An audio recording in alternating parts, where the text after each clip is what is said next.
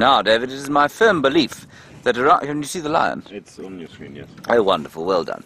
Now, that's, that is good news. Uh, that is a stroke of blind, blind luck, everyone, and I'm hoping desperately that that lioness has got behind her three little cubbies.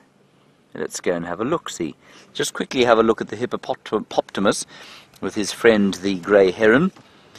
That's Gareth the grey heron on Bob the Bachelor of Buffelshoek. And who the lion is, I don't know. This is wonderful. I can't believe it. I really had no idea. As you came live here, I looked on that little spit of land, that little uh, peninsula stretching out into the great vastness of the Buffelshoek water, and there was the lioness. Ha! Now, this is grateful joy. Let's see if the little cubs are there.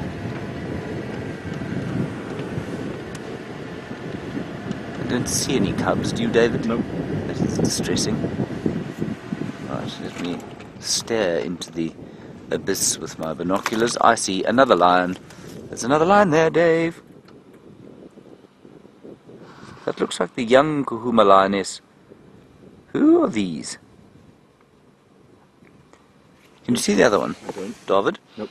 Go down to the right-hand side, in the shade there. There, you're on her. Zoom in there. Gotcha. Now, everyone, we're not. We don't have the long lens here.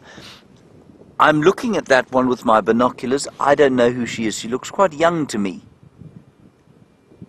and she looks like she's been mangled. Yeah, she's got lots of injury or mange around her face. She's just laying down. She's definitely lactating. Whoever that female is is lactating. This is fantastic. I wish I had a very long camera lens.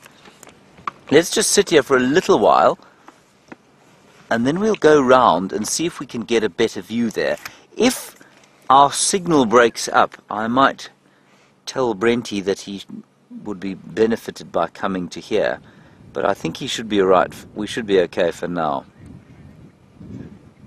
And I know that our signal is strong where we're sitting now, but that's because we're on the dam wall and we're going to have to try and get a little bit closer around the other side. Isn't this wonderful? so nice when you get a surprise like this. When you're really not expecting it at all, especially after Dave and I came past here, what, Dave, three or four times this morning? Well, twice. and found nothing.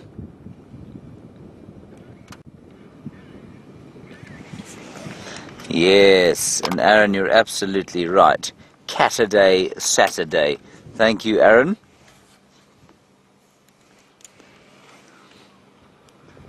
Alright, I'm going to take try and take one picture and then let's see if we can get a little bit closer.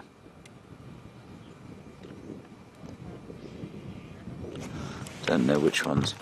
Okay, let's go around.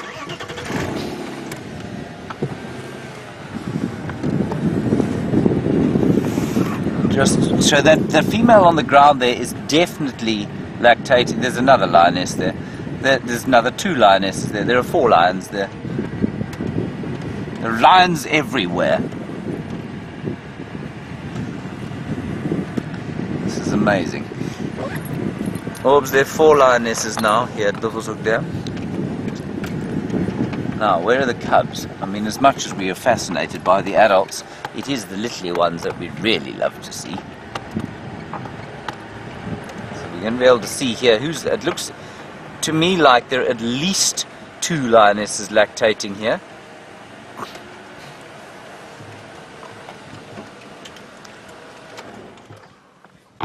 In fact, there are five. There's another one there's another one there in the bushes. Yep. That looks like a male. Can you see it there? Yep. It's a male in the bushes there, everyone. And he looks like Skinny Pom Pom to me. You got him there? Yep. Yep.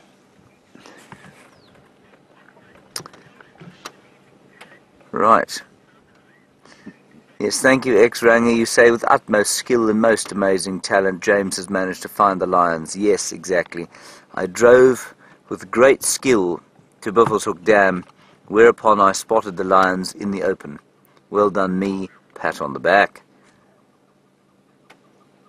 Ah, the male just kicked some elephant dung onto one of the females, who looked up in dis deep concern. Now, if you look, that one there that you're looking at, whose belly you can see, she's definitely lactating. You can see she's got swollen teats. If you look at the one that just rolled over, she too is showing evidence of swollen teats. And I wonder if they haven't come across here, perhaps to have a drink. And maybe those cubs are not too far away.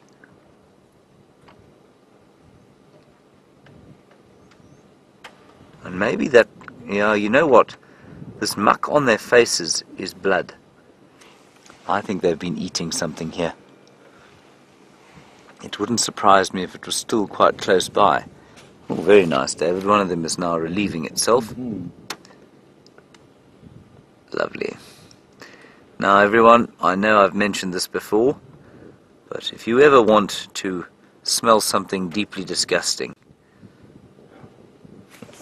then lions are the way to go. That's wonderful. Got off the peninsula, walked down, stepped up to her friend, and is now weeing on her face, basically. That's uh, really classic lion behavior, and this is why I am unable to see lions as royal, but far more as gangsters of the bush. This is fantastic. Now, Taxon told me that he had tracks coming this way earlier. We had baboons alarm calling here earlier. Yeah, she's definitely eaten that female.